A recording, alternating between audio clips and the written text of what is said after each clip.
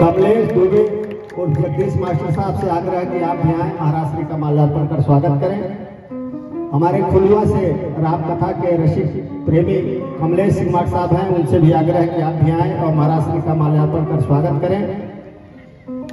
हमारे बीच दुनाई से अखिलेश दुबे जी जो वकालत मिर्जापुर में करते हैं, वो आज कथा सुनने के लिए आए हुए हैं और हमारे गाँव के बहुत ही अच्छे उनके संबंध हैं। उनसे भी आग्रह कर पाए महाराज श्री का माल्यार्पण कर स्वागत करें। हमारे बीच में श्री त्रयंबक नाथ उपाध्याय, आप सिंचाई विभाग से अवकाश प्राप्त हैं। आपसे भी आग्रह है कि आप आए महाराज श्री का और जोरदार तालियों से हम भी महाराष्ट्र का स्वागत करें।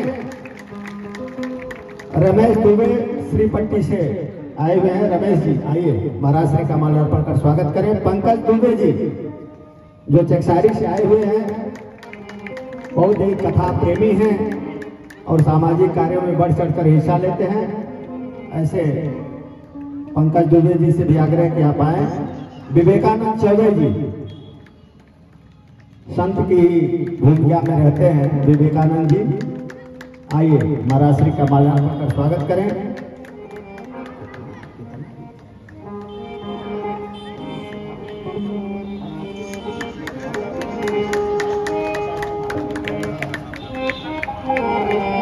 विभूति नारायण उपाध्याय जी व्योमकेश उपाध्याय जी रविशंकर तिवारी जी राधे श्याम प्रजापति जी अनिल पांडे जी जो चकसारी से आए हुए हैं। आप सबसे आग्रह है कि आप आए, कुछ आए और महाराज श्री का माल्यार्पण कर उनका स्वागत करें।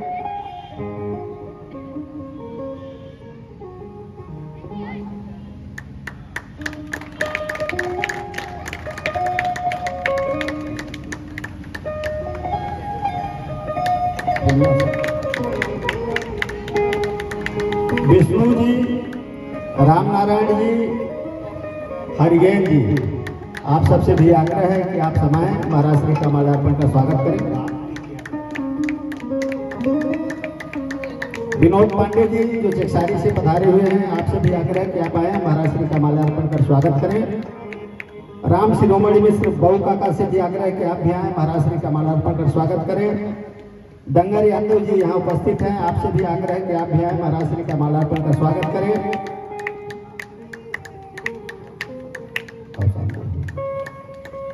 हमारे बीच में कथा सुनने आए हुए अर्जुन शर्मा जी, जो कौशाम्बी प्रयागराज से पधारे हैं, उनसे भी आग्रह है कि आप भी आएँ और महाराज श्री का माल्यार्पण कर स्वागत करें। सुरेश बनवाल जी से भी आग्रह है कि आप भी आएँ, महाराज श्री का माल्यार्पण कर स्वागत करें।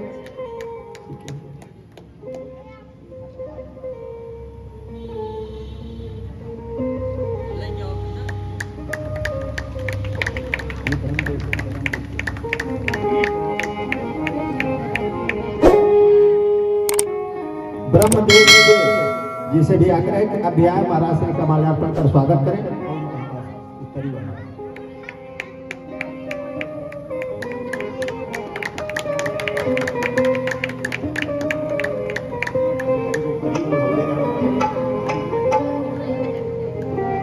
हमारे बीच में इंदु देवी धर्मपत्नी श्री जयशंकर पांडे जी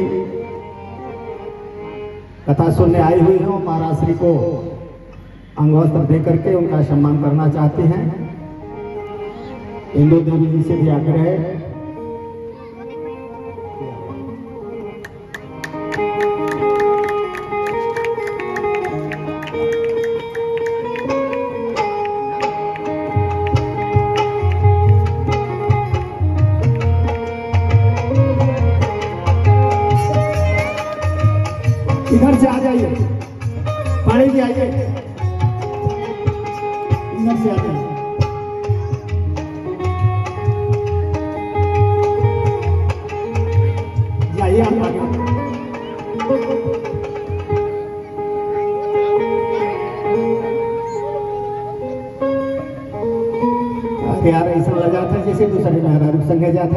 जोरदार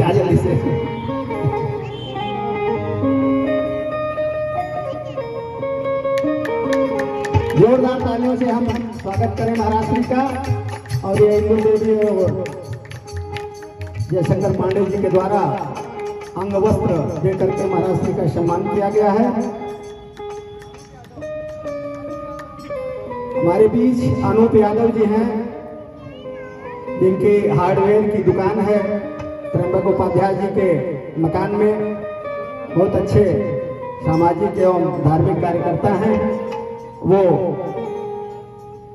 उत्तरीय दे करके महाराज श्री का सम्मान करेंगे एवं उनके महाराज जी के साथ आए हुए हमारे जो श्याम के उपासक हैं, संगीतकार हैं, सबको अंग वस्त्र प्रदान करेंगे। उनका आयोजन की ओर से बहुत बहुत धन्यवाद है। सबको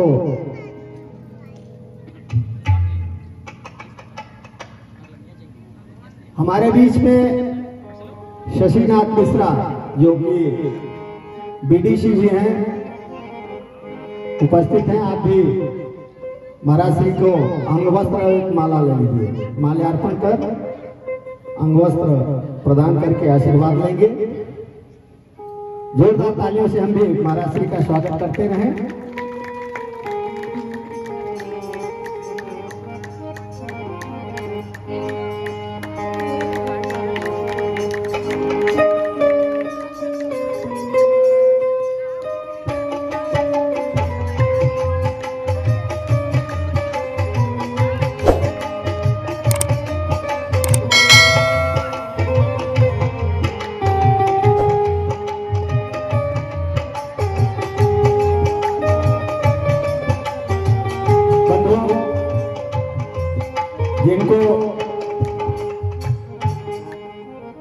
लोगों ने दो दिनों से सुना है, सराहा है, जिनकी कथा हमें आदर्श मार्ग पर चलने के लिए प्रेरित कर रही है, हमारे जीवन के तमाम शंकाओं का निवारण कर रही है। ऐसे संत वास्तव में लगता है जैसे सूर्य जिनको स्वयं आभा प्रदान कर रहे हैं। विनायक और रिद्धि सिद्धि जिनके दाएँ बाएँ खड़े होकर आशीर्वाद दे रहे हैं वाग देवी सरस्वती, जिनकी वाणी में स्वयं प्रकट होकर के राम कथा का रसपान हम सबको करा रही हैं, ऐसे राम कथा के धनी, मूर्धन्य विद्वान वेद पुराण शास्त्रों के प्रखर अध्येता, ज्ञाता पूज्य गुरुदेव जी के चरणों में प्रणाम करते हुए मैं चाहूँगा कि हम सबके तप्त हृदयों को राम कथा रूपी गंगा के द्वारा तृप्त करने की कृपा करें। हम सबको राम कथा अमृत वर्षा हम सबके ऊपर करें, परम पूज्य गुरुदेव जी। को चाहेंगे? उसके पहले कि आप कथा शुरू करें, हम कहेंगे राजनाथ चौधरी आप भी गुरु जी का मालार्पण का स्वागत करें।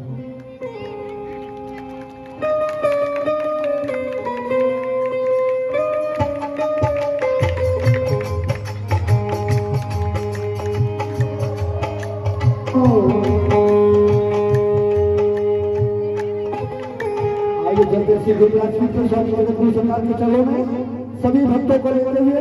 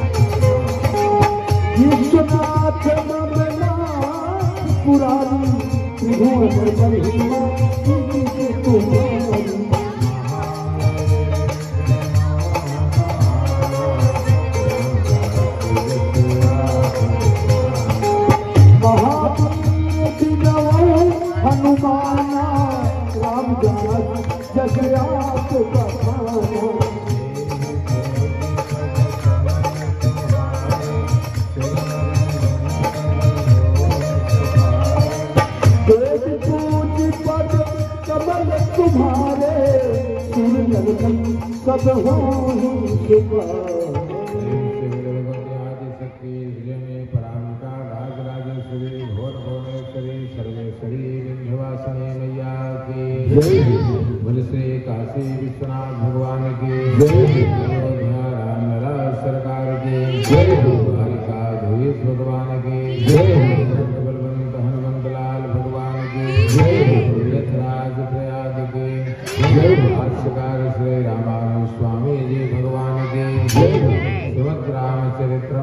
भगवान के शिरोमणि गोस्वामी तुलसीदास जी महाराज की जय।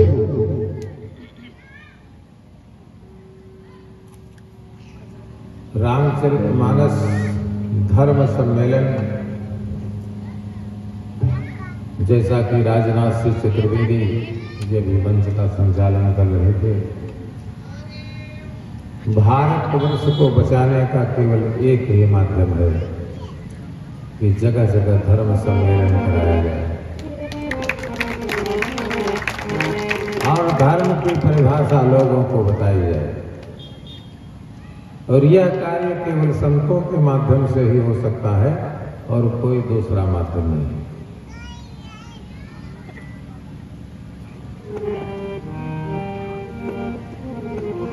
इस भारतवर्ष में धर्म को नष्ट करने के लिए आपको बता दें कि जब माननीय मुख्यमंत्री योगी प्रथम वर्ष के सिंहासन पर बैठे, उसी समय माघ मेले में अर्ध कुंभ का मेला चल रहा था। उसमें तो ऐसे उग्रवादी पकड़े गए जिन्होंने पूरे माघ मेला परिसर में पानी की सप्लाई होती है। उसमें एक ऐसा केमिकल डालने जा रहे थे कि पूरे माघ मेला के व्यक्ति समाप्त हो जाते। लेकिन प्रयाग की रक्षा करने के लिए छाछठ हज़ार तीर्थ धनुष बाण लेकर तैयार रहता किसी एक सिक्योरिटी गार्ड की नज़र पहुँच गई। और उसने तुरंत एसटीएफ को सूचना दी। माननीय योगी जी को जब सूचना मिली तो माननीय योगी जी ने कहा कि वहाँ मीडिया में पहुँच नहीं पाए। और तीस फीट गड्ढा खनवाओ जेसीबी मंगा करके तीस फीट गड्ढा खनवाओ और उसके अंदर इनको जीवित डाल करके ऊपर से मिट्टी डालो।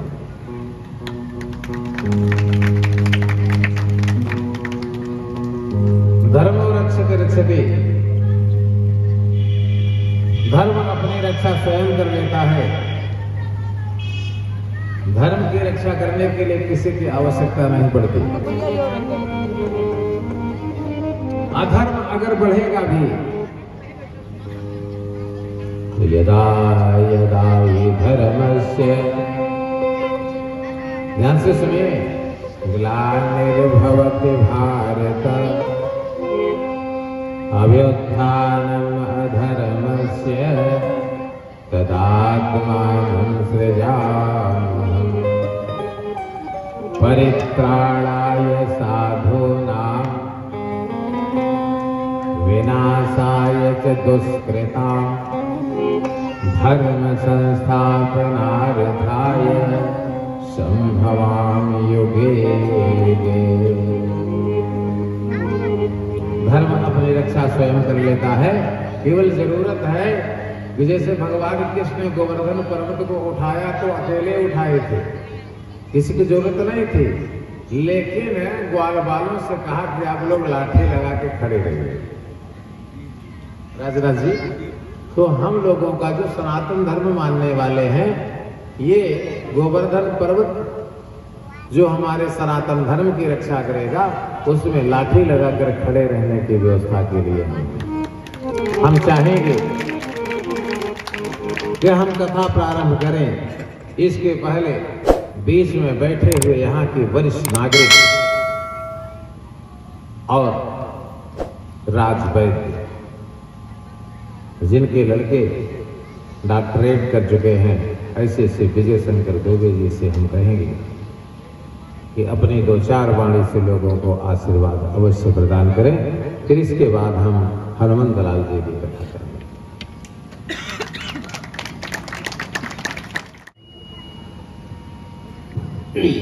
सुदूर अंचलों से आए हुए संभ्रांत नागरिक तथा उपस्थित बहु बेटियाँ जो जो इस कथा मंडल को सुशोभित कर रही हैं, उनके सम्मुख मेरी जो अनुभूति है, जो मैं उसको कहना चाहूँगा आप सुना साधु नाम दर्शन सुनो।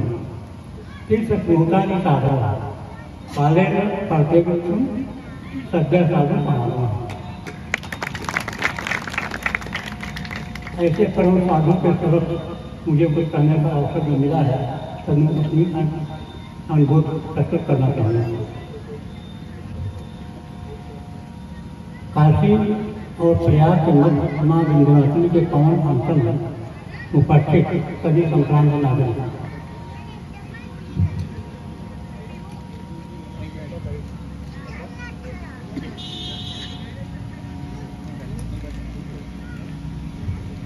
बहु बेटियाँ सामने बैठी हुई हैं, बड़ा अच्छा लग रहा है।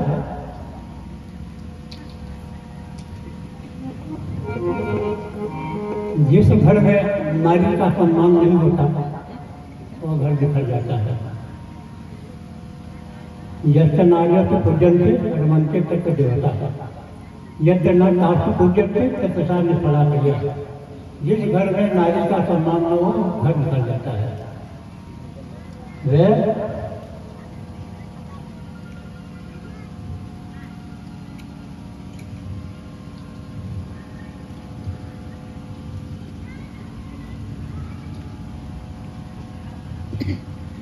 का संपोषण न हो। कृत्य सर्वव्यापी होकर जब मनोवांछित फल दे सके तो मानवता का स्वरूप अगर सम्मानित हो। भाषा थोड़ी कृष्ण लगती हो तो संभाल सकते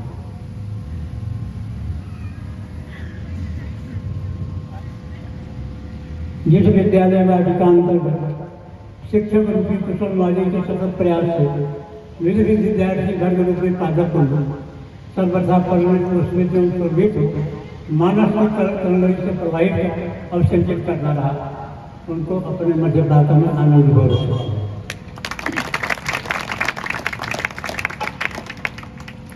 ये मेरा प्यारा सा गाँव, ये मेरा प्यारा गाँव, जिसने मुझे शुरू से मेरे प्रारंभिक जीवन से अपना एक एक रुपया एक एक मिनट में हमारे साथ प्रदान किया। उसे मैं भूल नहीं सकूँगा। यह मेरा ऐसा गाँव है, जहाँ पर चंदन और राजनाथ जैसे सब कुछ हमेशा पैदा होते रहेंगे और इस तरह से कार्यक्रम करता रहेगा।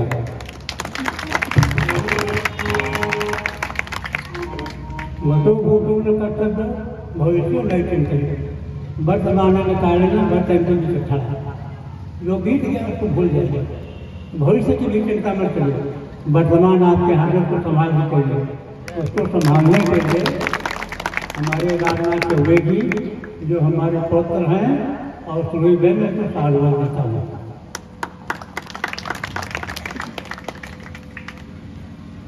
इस तरह से कथा में थोड़ा विलम्ब होगा, नहीं तो थोड़ा बहुत बोला जाता। हाँ?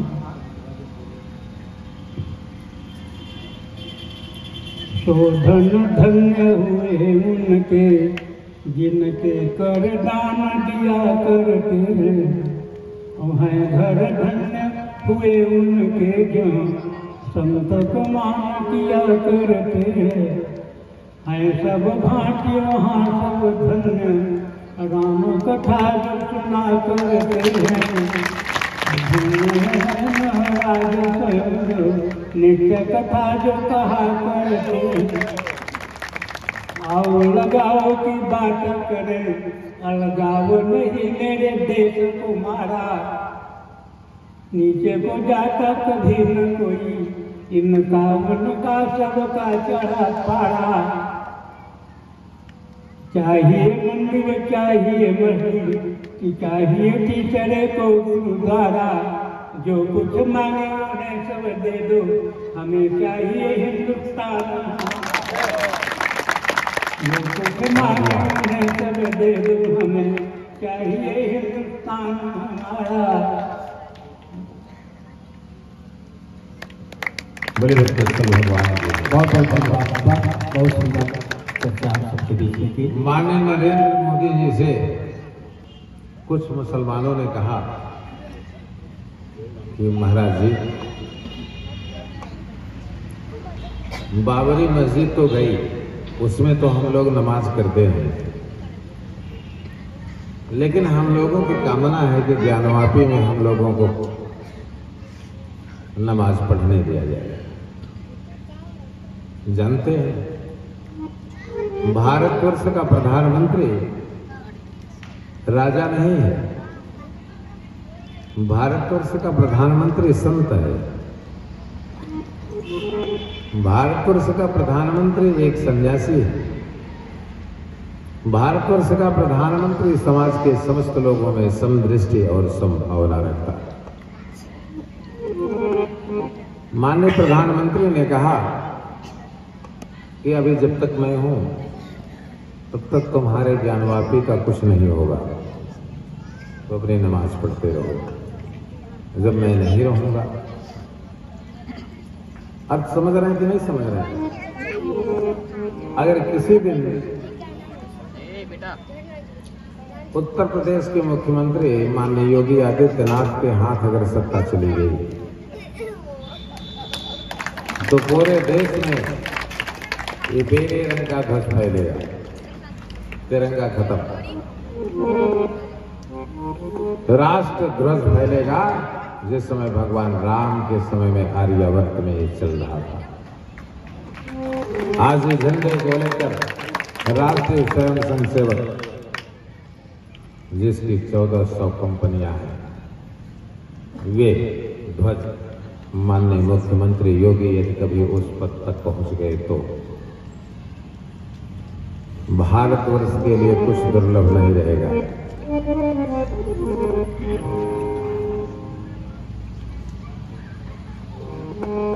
आप लोग भगवान की राम कथा में भी देखिए।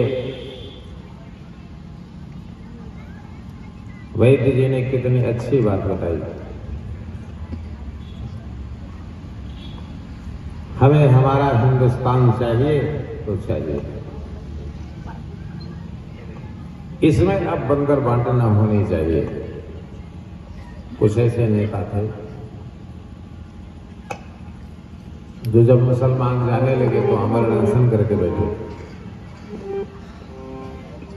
हिंदू मारे गए तो अनशन नहीं किया। आज उससे कहने से कुछ मतलब नहीं है।